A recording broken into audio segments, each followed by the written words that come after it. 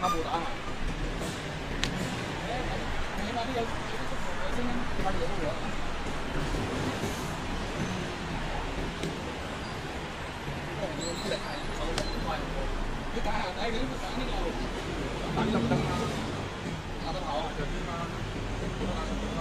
Để không bỏ lỡ những video hấp dẫn